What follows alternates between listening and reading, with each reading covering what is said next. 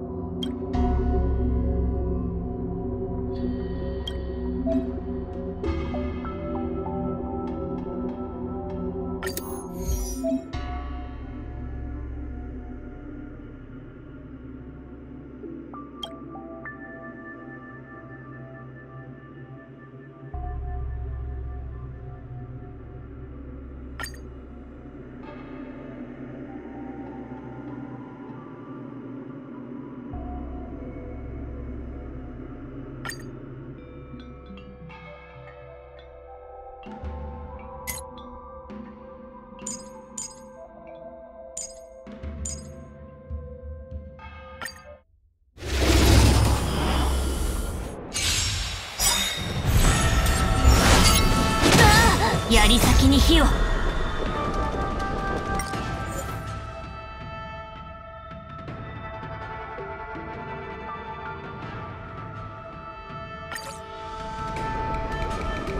炎のエリア断ち切れ。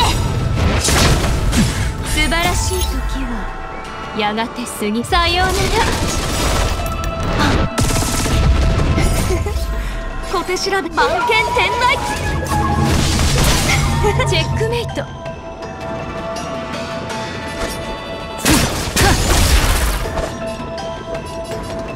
剣飛燕のごとしやろう。善はなした立ちなさい。この賭け俺皆を招こ私が守る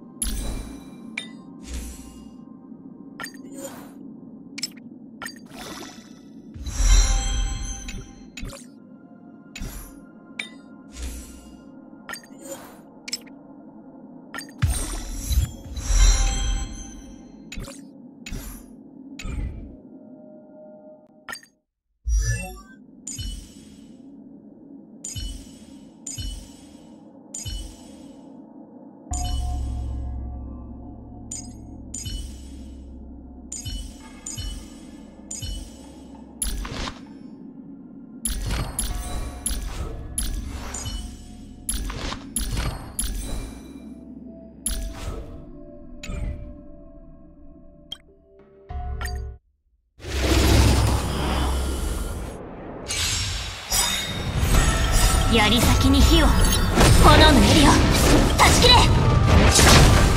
素晴らしい時。さようなら。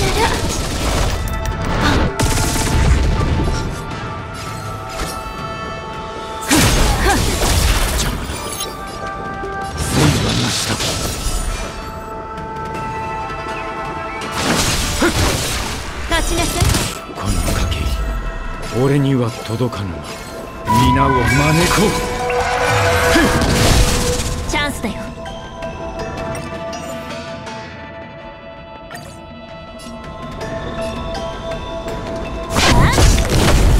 聞けば見逃そう。この月下で。全てを照らさん。月光を剣とす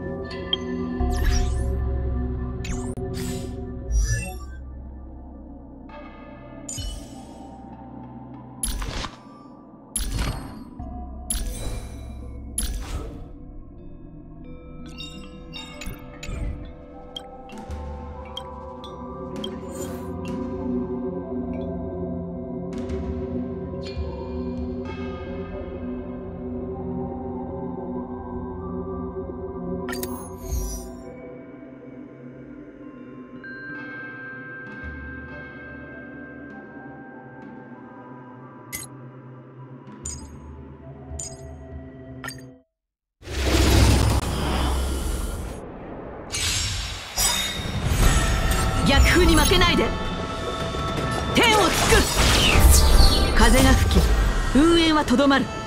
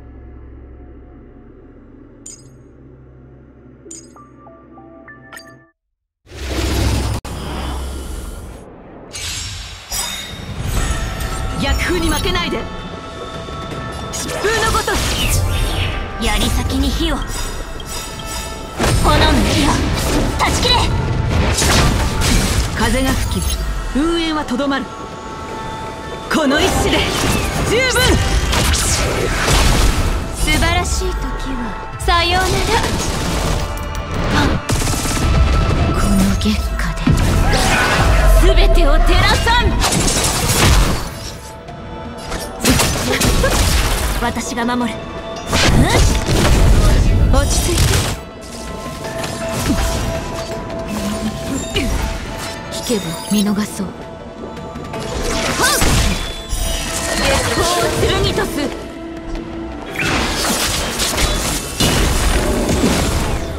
ないわね。天をつく。呼吸する。ダンス戦闘準備。立ちなさい。Hit!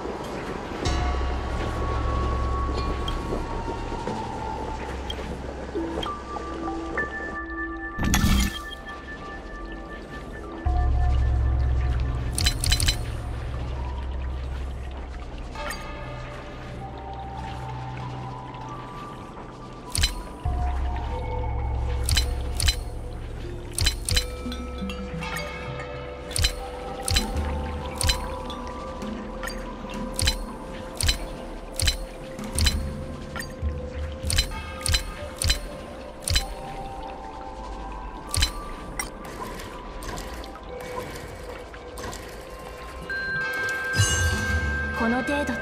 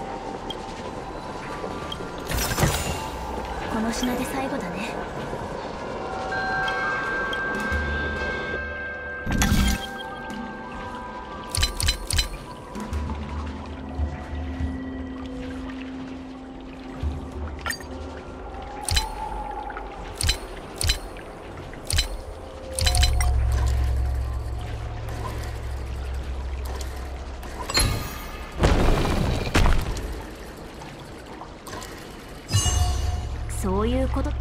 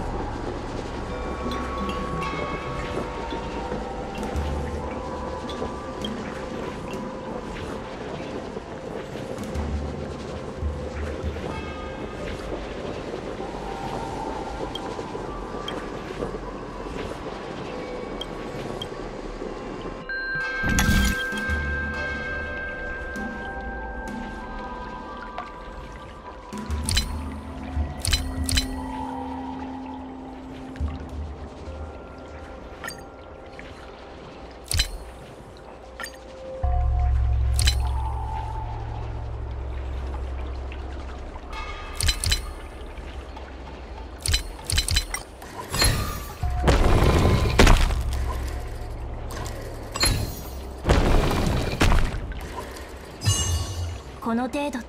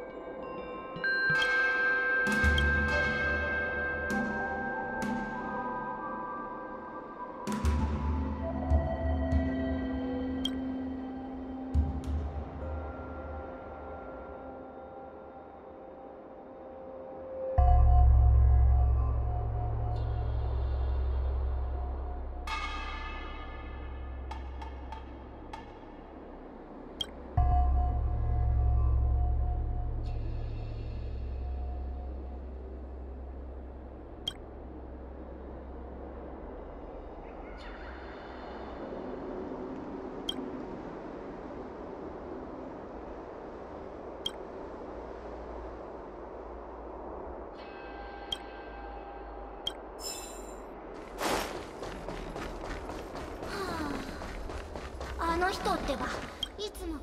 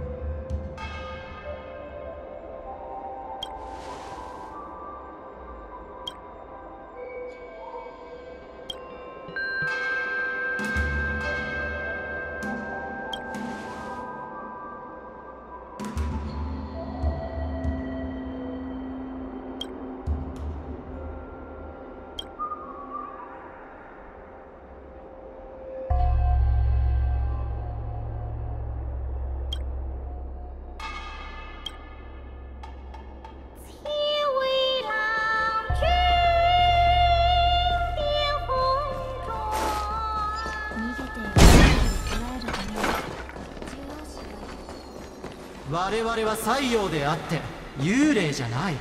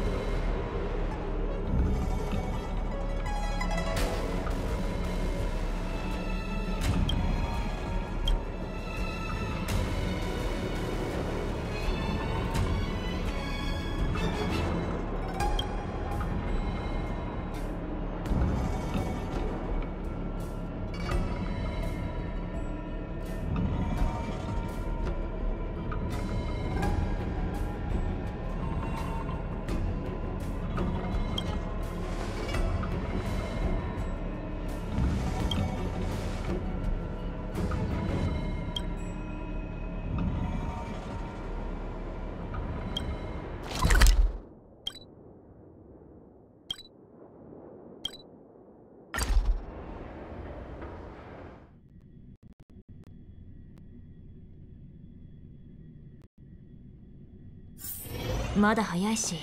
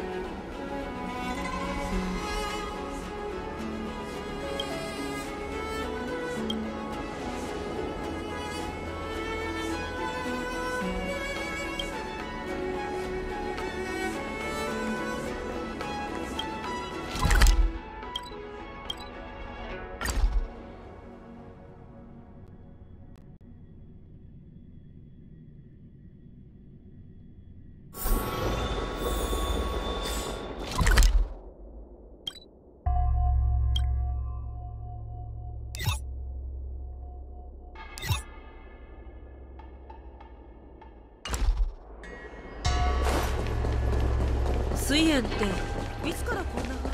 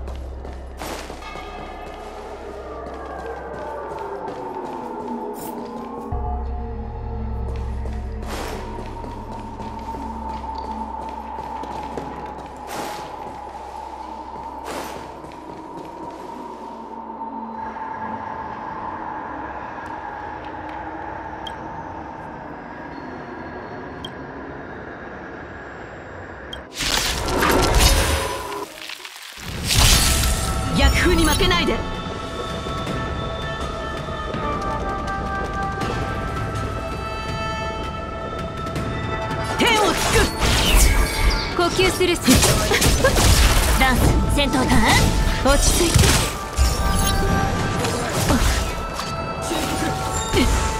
悪い子ね。おやすみ矢はつがえたチェックメイトいや立ちなさいお注射の時間よ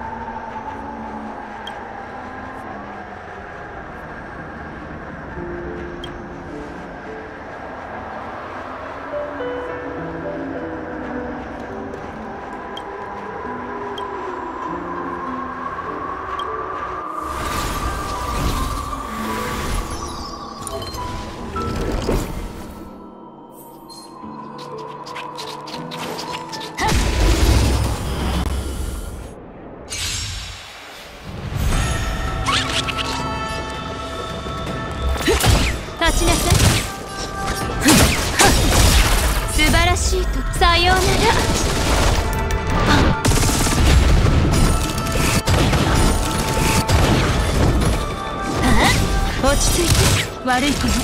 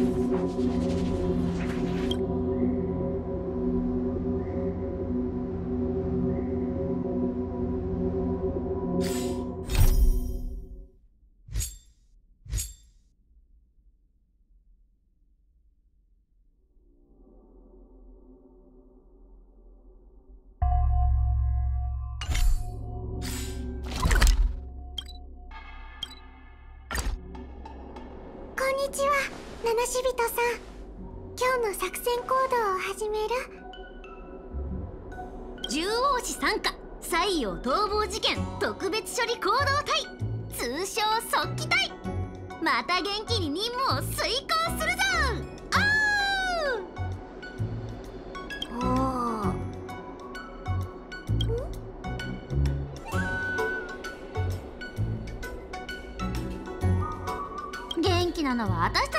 たいだね。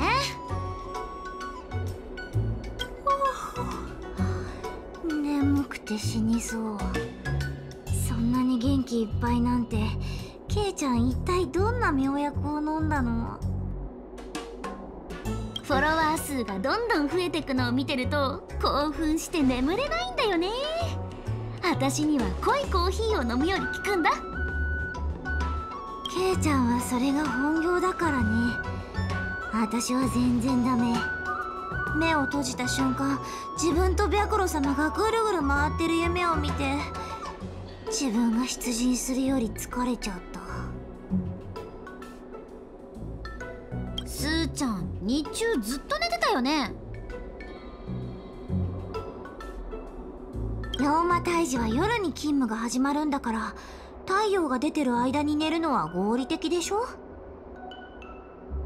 そうだ。私が睡魔に取りつかれたっていう体で寝床に封じてあと60から100時間くらい寝かせてくれない？ほら私を獣王子に引き渡したと思ってさ。う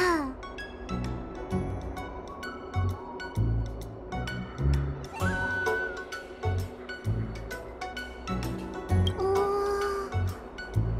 ああの長楽亭の有名近くを通るたびじっと静かにパイ打ち仲間と戦ってるところを見る。フォフも彼女のこと知ってるの？すごい有名なんだね。え一体誰なの？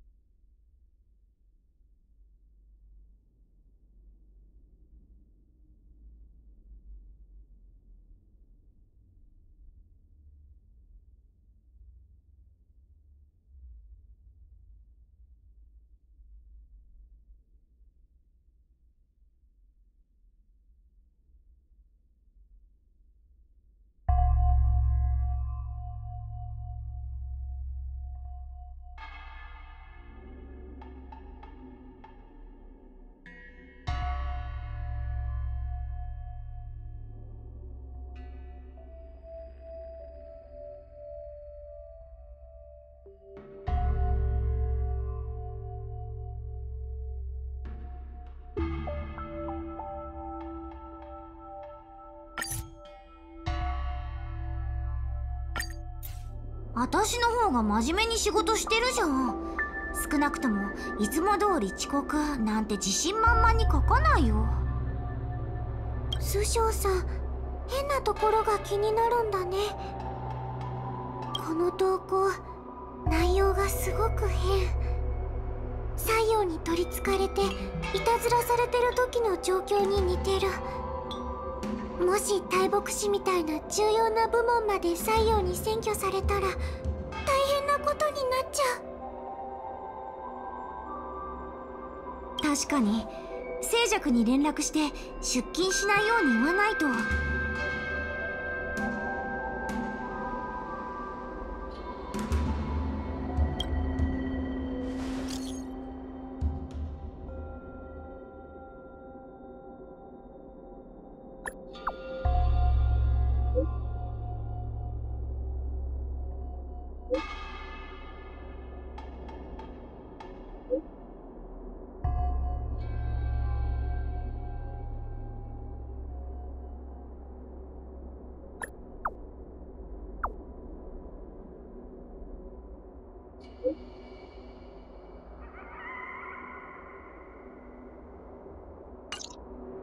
静寂ちゃんには伝えたから大牧師に行って状況を確認してみる？うーまずはフエンの様子を探りに行こう。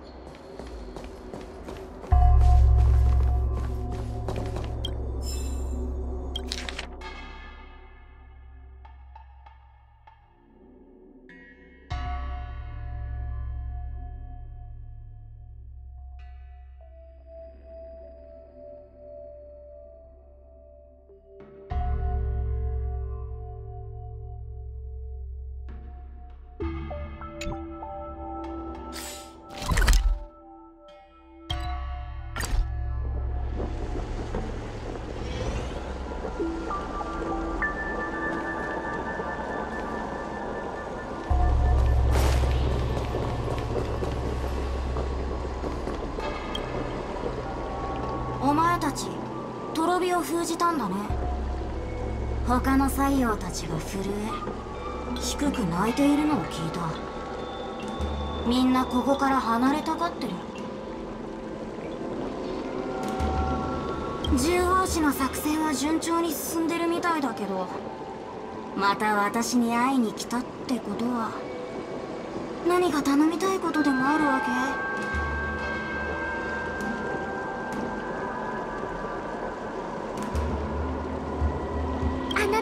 たと将軍が約束した通り私たちが一回勝ったら一つ質問に答えてもらえるんだよね。戦う前から勝つことが決まってるみたいに言わないで。おちびさん。尻尾の助けなしに西洋を捕まえる仕事を引き受けるのは少し無理があるって思わない心を開いて私を受け入れれば私が尻尾の代わりに力を貸してあげる。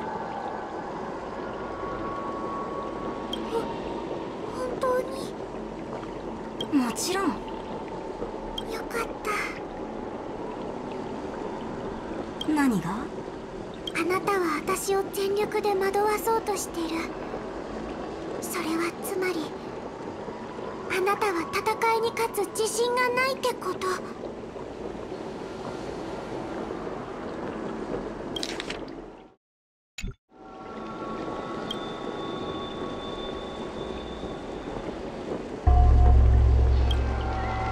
賞賛があるならとっくに私たちに牙を向いてた。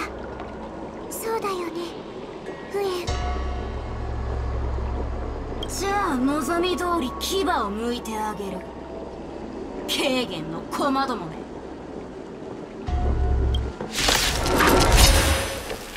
前回の勝利の喜びに浸る必要はない。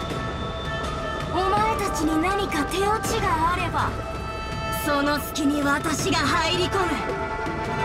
軽減が後ろで見てないと心もとないんじゃない？時期は一瞬で過ぎ去る。何度でも躊躇しないよ。何度でも挑戦してやる。お前私はそうはならない天をつく呼吸するその感覚チャンスだよ落ち着いて。その程度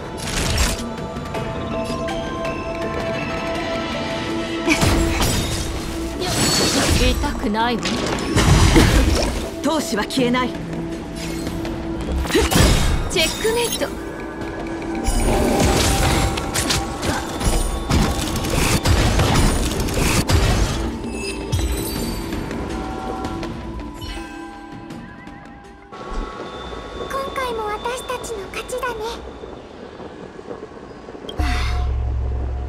たいことがあるなら聞けば？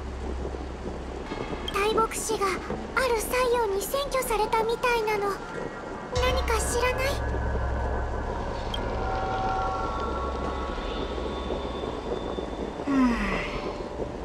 先週人が未来を探る場所に行くようなやつはサイエン以外にありえないと思うあいつは預言者の類につきまとうのが大好きだった。彼らと運命について話し合い彼らが無作為と運命の狭間で苦しむところを見るのが大好きだったの。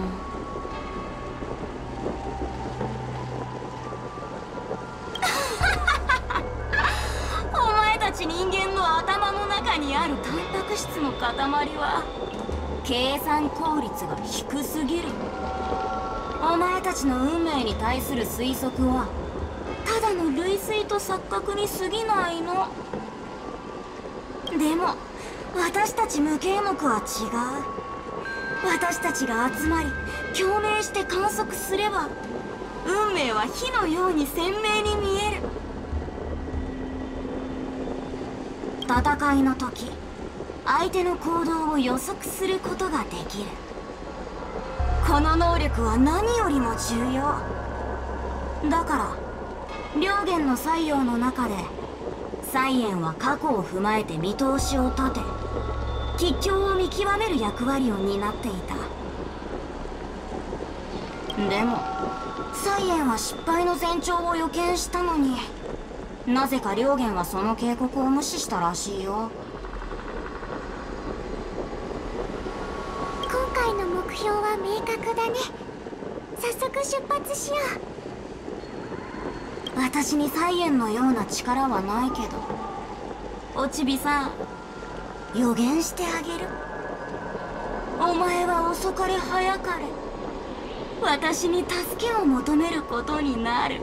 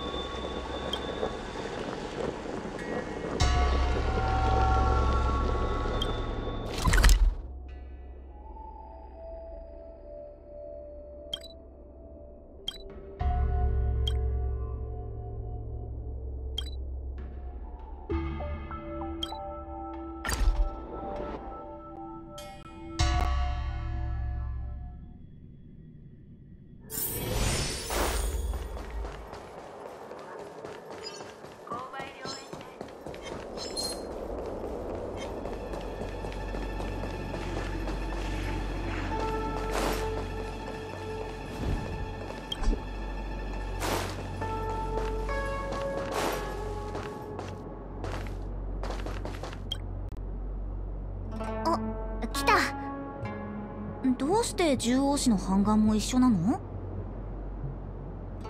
すごいおかしなことになってる。みんな何かつぶやいてるんだけど下克上の準備でもしてるのかな？まさか私が無意識に悪いお手本になってたせい？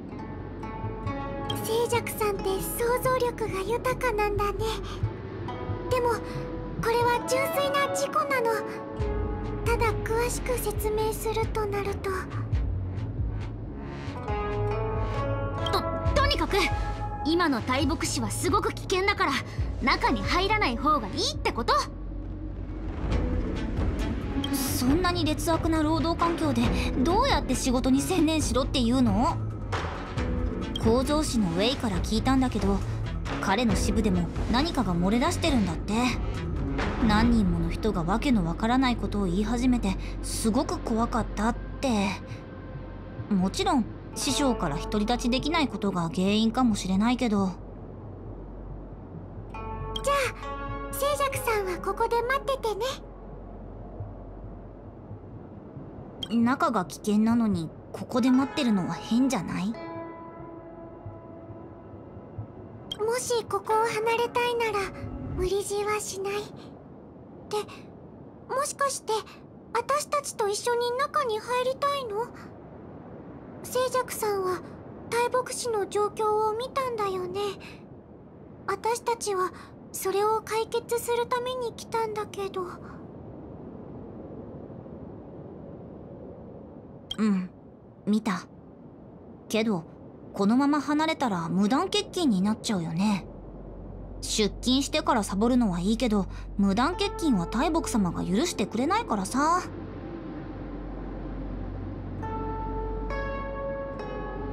それにあなたたちには大牧師に詳しい案内役が必要でしょ？ほら行こ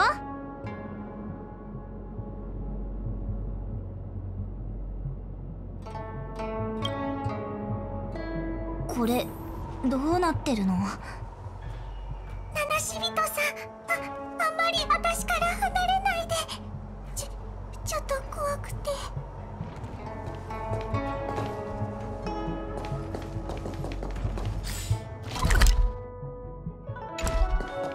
サオガの意志い。た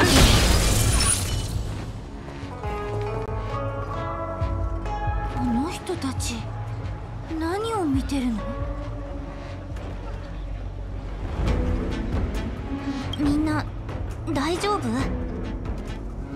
道は常に一つしかないのです。僕さんに意味はない。休館の陣なんでこんなことになってるの？見て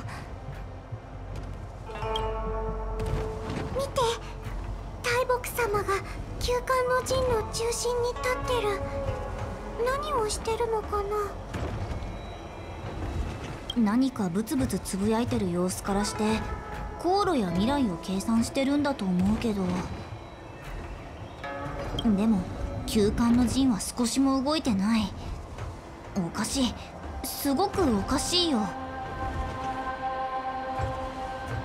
西洋。あなたたちが言っていた危険のこと？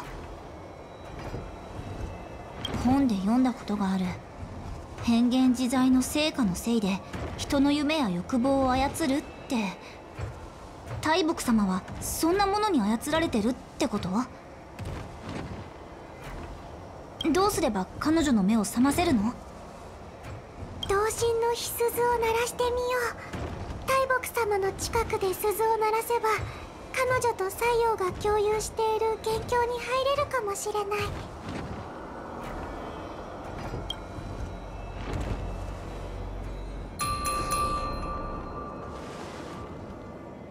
静かに。大牧師で騒ぐでない。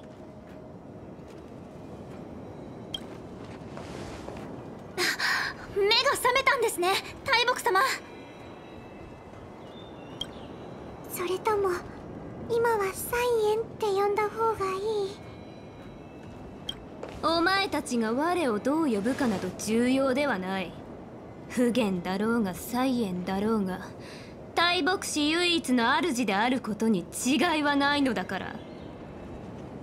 目下占いは正念場を迎えている。他者の邪魔は許されない。獣王氏の半眼だろうと請求列車の客人だろうとここに立ち入ってはならん。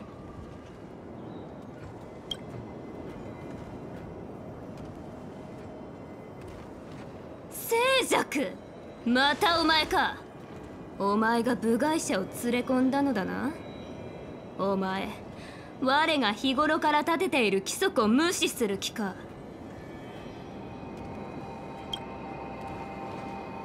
静寂お前はクビだ。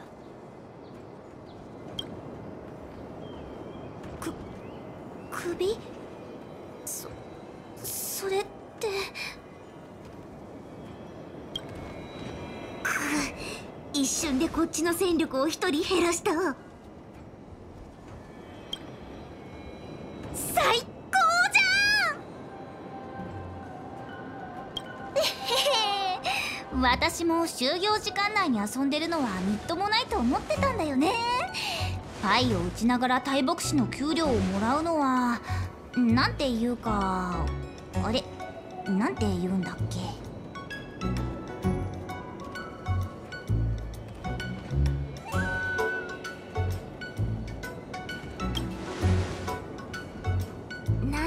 違うかはうまく説明できないけどその言葉は少し違うんじゃないかな。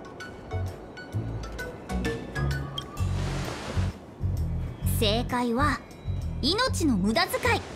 背中を押してくれてありがとうございます大木様。あなたも私の才能をここに埋もれさせるべきではないと思ってるなら私も何とかして変わらないといけませんね。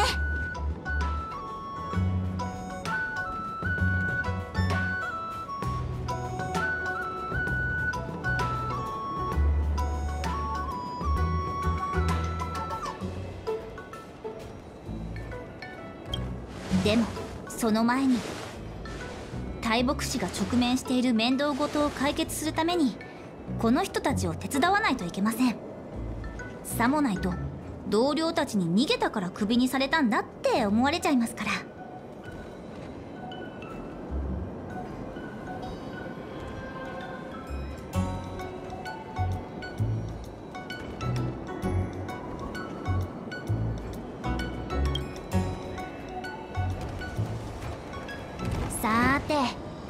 から何をすればいい？かっこいいセリフを言うことに気を取られてたけどどうすれば大木様を暴走状態から解放できるの？私にもわからない。あの作用は私たちを迷宮に捕らえるつもりも攻撃するつもりもないみたいで。暴走状態？我は冷静だむしろ過去にこれほど冷静だったことはない。今から我は全身全霊をもって先週同盟の定められた未来を計算する。そしてその未来を天下に伝え人々が寸分の迷いもなく生きていけるようにするのだ。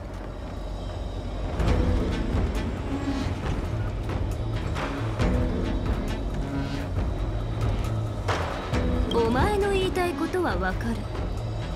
人の力は必ず自然に打ち勝つことができる。自由意志。しかしこれらは人間の脳が作り出した幻覚に過ぎない。道は初めから一つしかないのだ。お前お前は性格ハンターの手中にある駒の一つに過ぎない。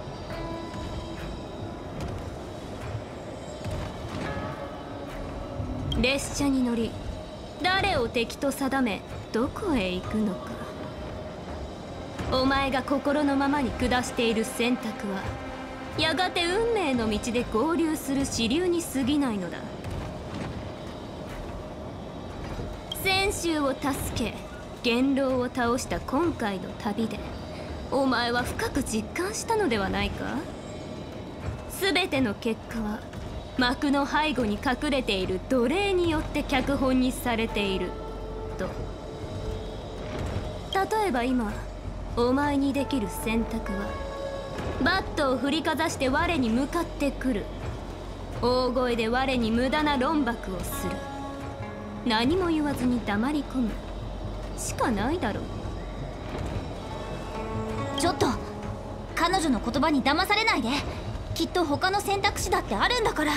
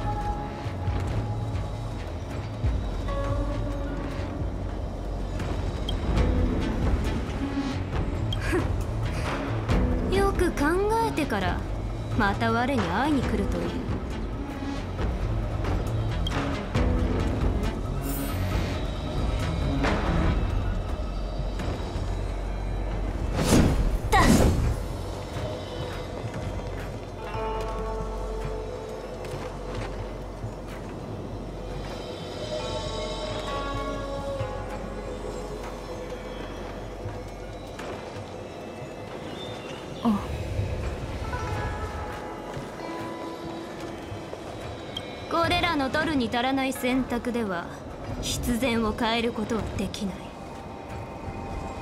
それでも納得できないというのなら我が運命とは何かを見せてやろう。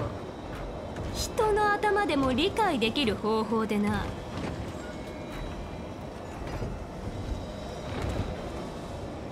なら我についてくるがいい。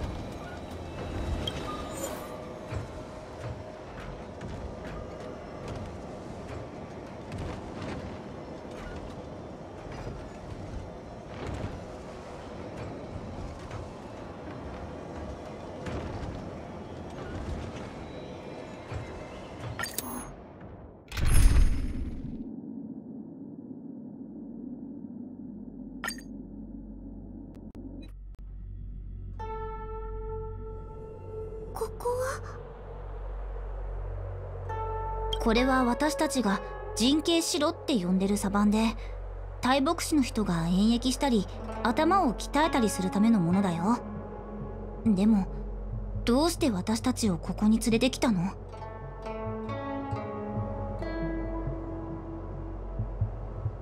そうだ。聞け。この小さな迷路に気候を入れ命令を下すと。気候は命令通りに道を見つけ出口へ向かう。これは運命の中にいる人間に似ていると思わないか？だが我にはお前の答えがわかる。人は機械じゃない。あるいは世界に道は一つだけじゃない。だろう？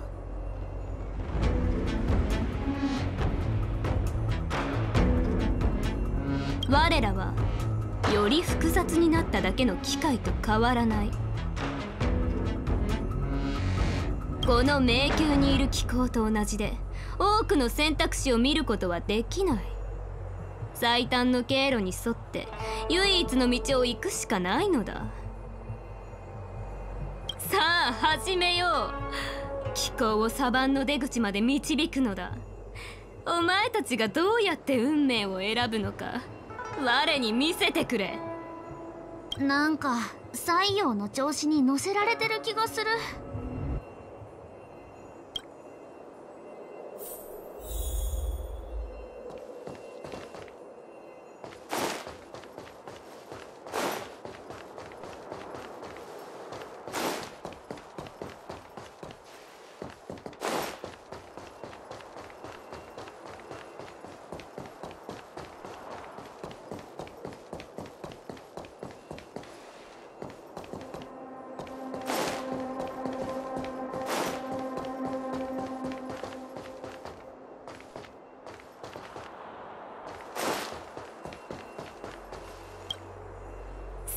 始めよう。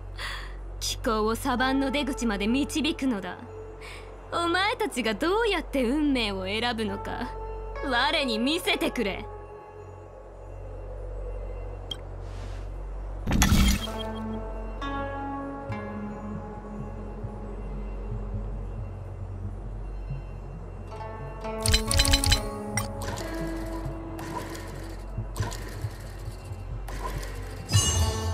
の程度。解けた。よろしい。お前たちの選択は方眼で見た通りだった。分かっただろ？うこの問題には最初から答えが一つしか存在しないと。まるで運命の道が一つしかないようにな。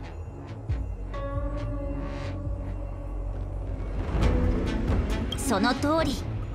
誰かに作られた問題にとって正解以外の選択肢は何の意味もない間違いでしかない。でも宇宙は誰かのゲームじゃない。私たちのために問題や回答を用意してくれる人もいない。宇宙に唯一の解なんて存在しないの。その中にいる私たちはどんなことだってできる。同じ日の仕事でも書庫に隠れて本を読んだり誰か探してパイを打ったりできる。それが自由ってものでしょ？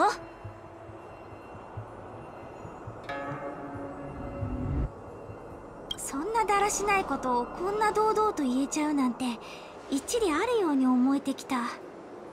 たすーちゃんしっかりして。サボりの採用に洗脳されちゃってるよ。静寂よ。お前にとって人生には無限の選択肢があるように見えるのかもしれない。それはお前がする全ての選択がお前の毎日と同じように無意味で虚しいものだからだ。しかし我にとって選択は全く異なる結果をもたらすだろう。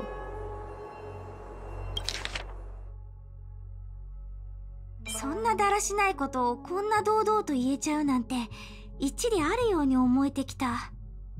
大牧師の牧者って許容があるんだね。はあ。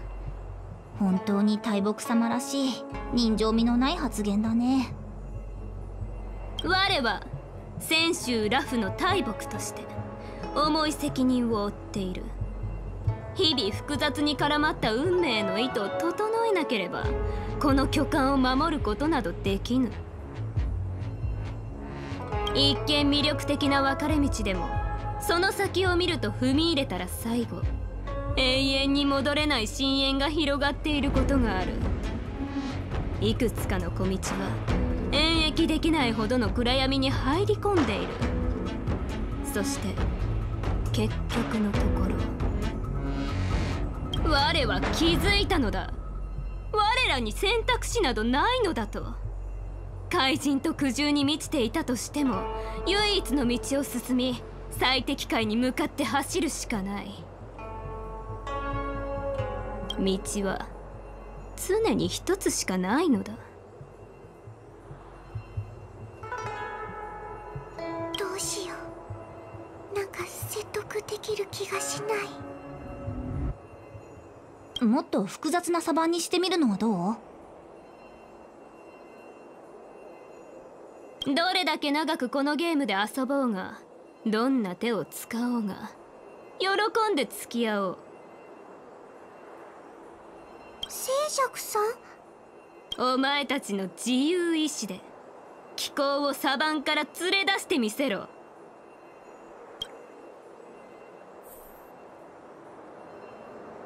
さあ始めよう。気候をサバンの出口まで導くのだお前たちがどうやって運命を選ぶのか我に見せてくれ。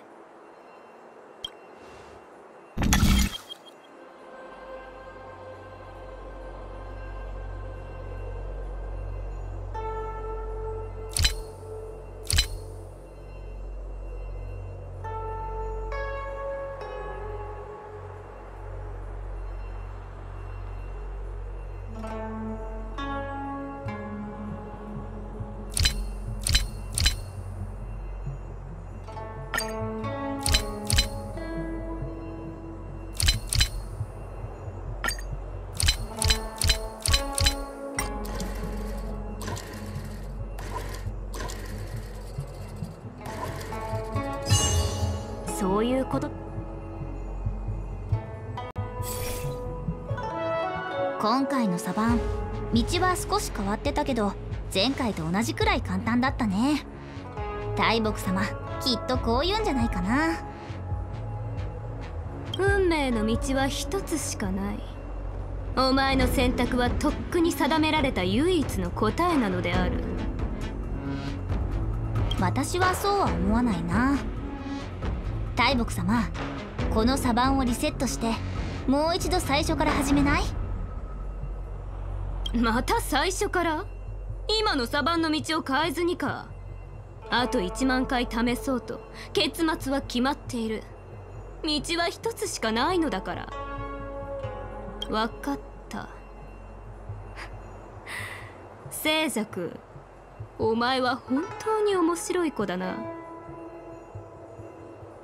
聖爵ちゃんさっきこっそり計算してみたんだけどこの問題確かに答えは一つしかないみたい。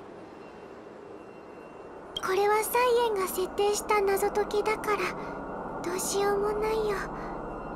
2つ目の解き方なんて存在しない。私たちがサイエンの運命ゲームにこだわってる限り勝つことはできないと思う。ううん。2つ目の選択肢はある。みんな選択肢は永遠に存在するんだよ。七死人さんからも何か言ってくれないか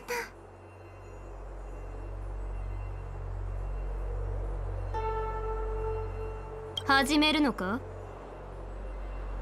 このサバンには当然2つ目の解き方がある。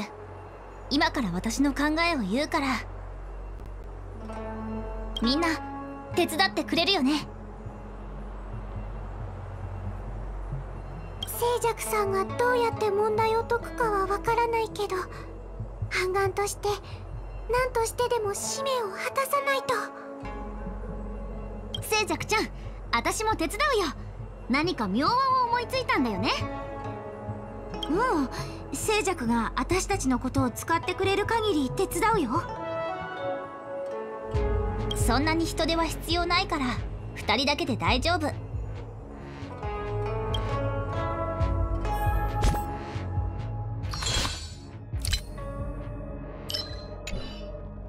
運命の道は一つしかない。お前の選択はとっくに定められた唯一の答えなのである。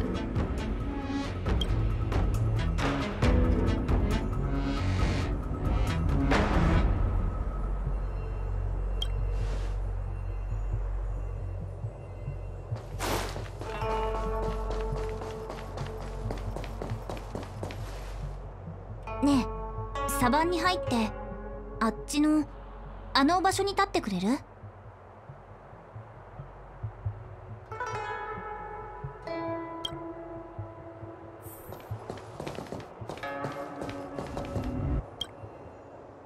ハンガンさんは反対側のその位置に立ってもらえるかな？震えないようにね。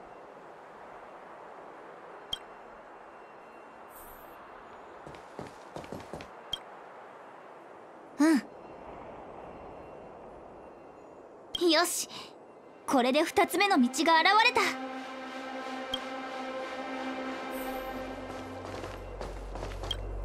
さあ始めよう。気候をサバンの出口まで導くのだ。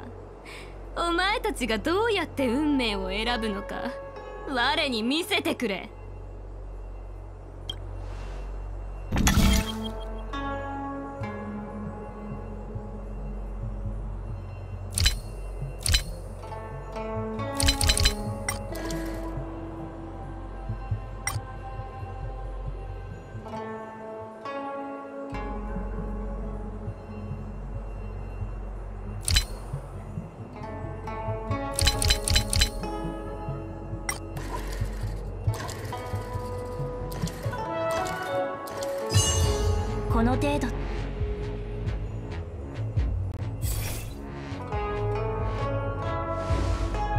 2つ目の回で2つ目の選択肢。私はこのサバンに異なる答えを作り出した。大木様問題を作れるのはあなただけじゃない。そして運命の道を進むのも私一人だけじゃない。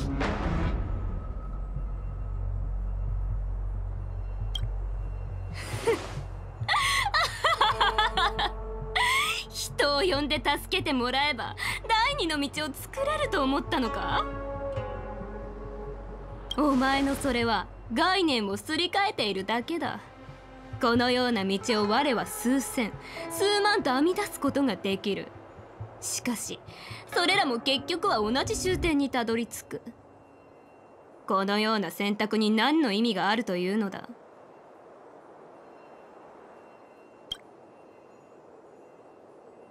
そうそう。ヨーマあなたは人間のことを全然分かってない。宇宙はねパイを打つテーブルの上にある美玉パイと同じなの。C パイが終わった時にはほとんど勝敗が決まってる。テーブルの上にどんなパイを打つのか。灰山にどんなパイが残ってるのか。隣の人はどんなパイを持ってるのか。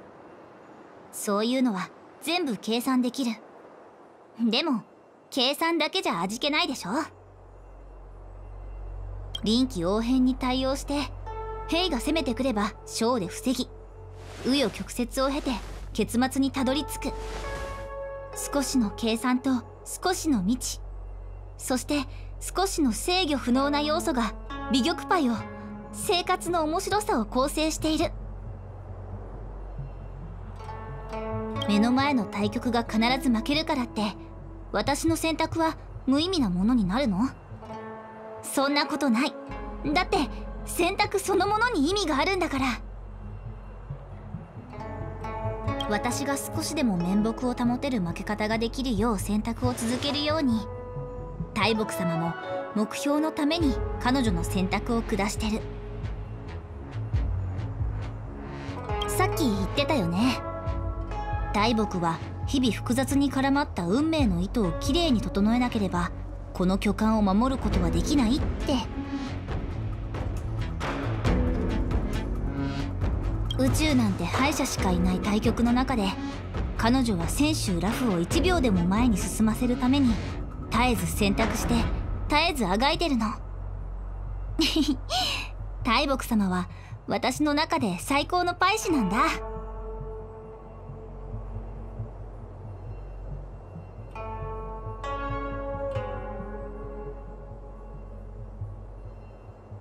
大木様みたいな人なら運命は定められてるなんて惑わしに理由もなく思い悩んだりしないと思う。西洋あなたは人間の醍醐味を知らない。運命は定められているなんて幻覚にとらわれているから未来を見る人に自分と同じ苦痛を味わわせたいだけ。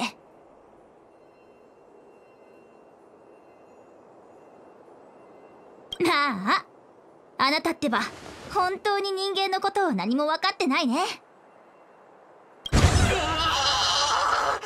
動揺するな不言我を拒むな。こんな小娘のたわごとに騙されるんじゃない。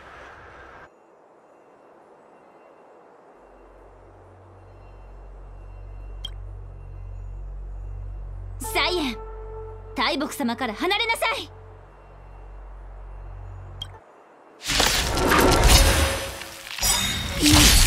見えるぞ。我は失敗する。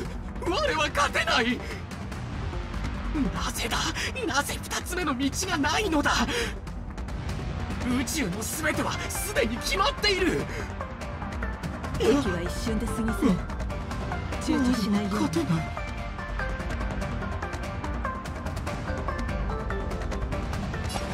天をつく。全員死刑槍先に火を。炎の槍を。断ち切れ。素晴らしい時。さようなら。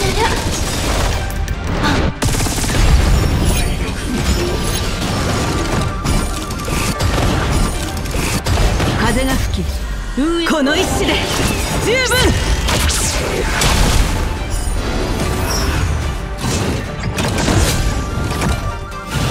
痛くない。私が守るお注射の時間よ。おやすみ。疾風のごと。大したことないわ。呼吸するその感覚覚えておいて。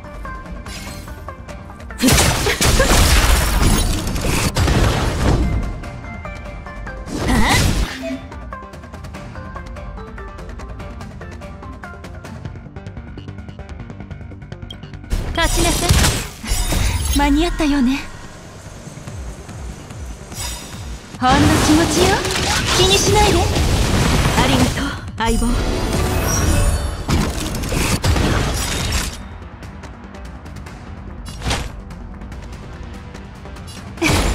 素晴らしい時。さようなら。矢はつがえた。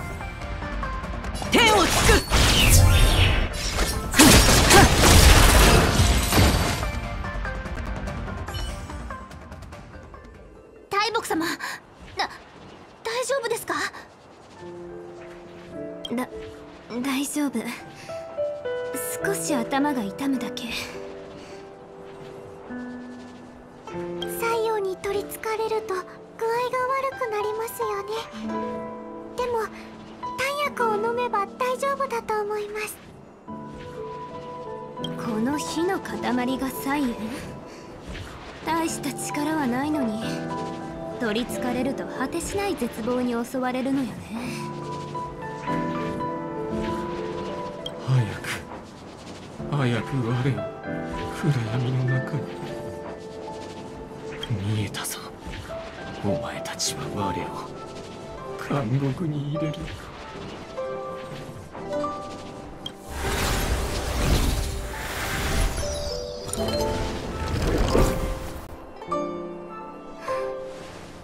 聖者君助けてくれてありがとう。気にしないでください大木様。あそうだ。さっき西洋に取りつかれてた時私をクビにするって言ってましたけどあれは本気ですよね。これから書面で通知して一方的に解雇してもらえますか？私が大牧師で適当に過ごしてきた年数を考えればかなりの額の賠償がもらえるはずだよね。ふふふふふ。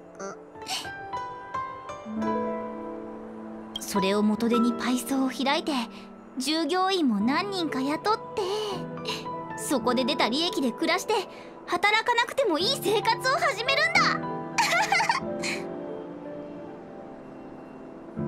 さっきの静寂と同じ人間だとは思えない。さっきは随分適当なことを言っていたようだけど残念ながら一言も覚えてないわ。ところで静寂ここで何をしているのかしら。今は書庫で働いている時間でしょ？ええー、大木様は約束を守る人なのに。言ったことを取り消しちゃっていいんですか？もちろん。人生にはいつも選択肢があるって。お前が教えてくれたんじゃない？はあ押し切れなかったか。大木様は少し休んでいてください。私はサボ。じゃなくて仕事に戻りますから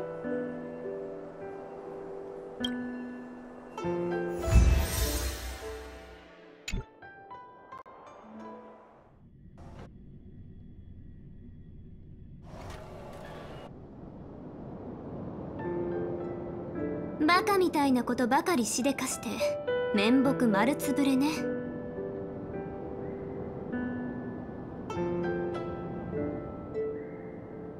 ええ。私だけが負傷する運命は達成されたわ。西洋は人の弱みにつけ込むのが得意だから。弱みは誰にでもありますから。これは普賢様のせいじゃありません。そうそう。普賢様は被害者なんだから自分を責めたりしないの。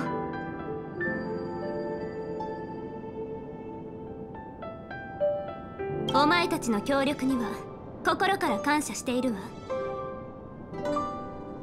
大牧師は思わぬ災難に見舞われた。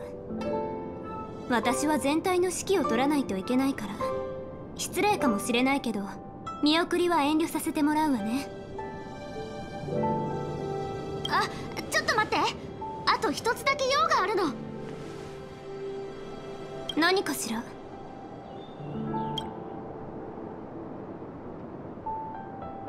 大木が西洋に取りつかれたという話が広まるのは良くないのね。分かった。名前と身分だけ伏せてくれればお前たちがどう改変しようと構わないわ。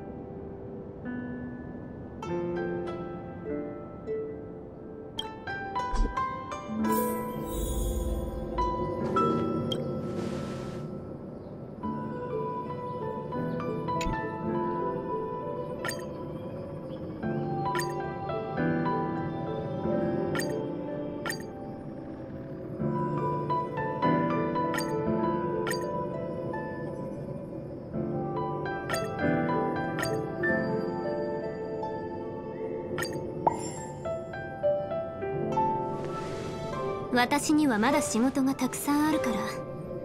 申し訳ないのだけど今日のお礼はまた後日にさせてちょうだい。じゃあ私たちは邪魔にならないように行こう。これから水炎で菜園を封印しないと。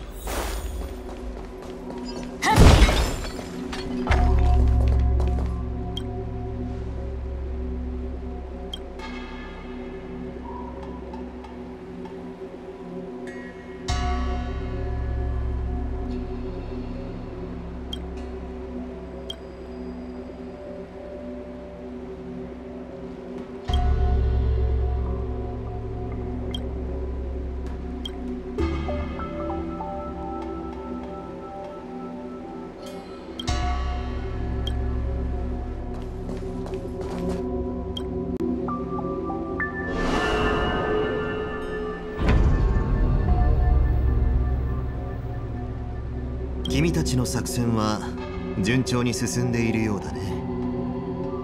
ラフ雑草でいろいろな怪異物語を読んでいるが実に面白い。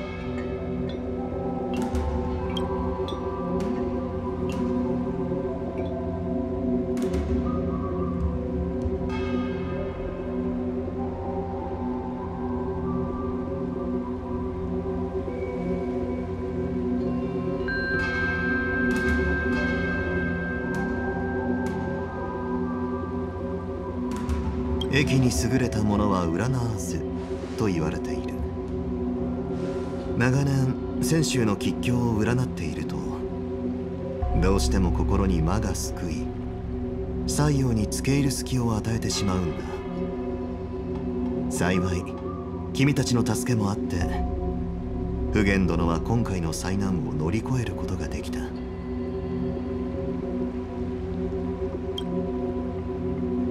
君は講談を聞いたり元気を見たりするのは好きか？講談にしろ元気にしろ。全ての物語の結末は決まっている。だからといってその物語を楽しむことを放棄したりはしないだろう。人生と運命も同じ通りだ。結末が決まっていようがいまいが経験する価値はある。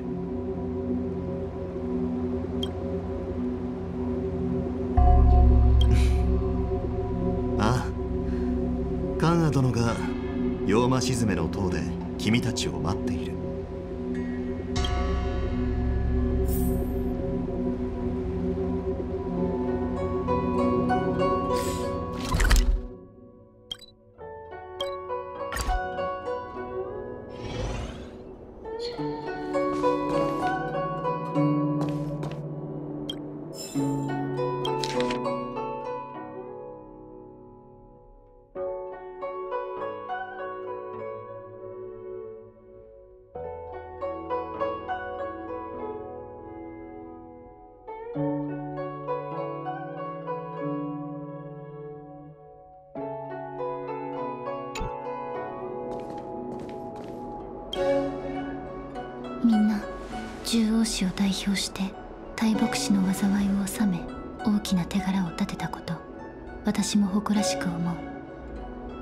件は獣王に報告してちゃんと表彰してもらうから。ありがとうございます。カーン様。今回は静寂さんの助けがあったのでスムーズにサイエンを倒せました。まさか普賢様のような正確に先を見通せる人まで西洋に惑わされるなんて。とはいえ私も彼女の苦悩は理解できる。私たちはそれぞれ見えない道を寸分たがわず進んでいるから。半眼は獣王の死に従って命令を遂行するけどその意味を教えてくれる人はいない。それは大木様も同じ。どんなに残酷で恐ろしい選択を予見したとしてもそれがラフの人々のためになるものなら彼女はそれを選ばなければならない。もしかしたらその方策は遠い将来を見越したもので正しいのかもしれないけど私たちは生身の人間選択をする過程で苦痛を感じてしまうものなの。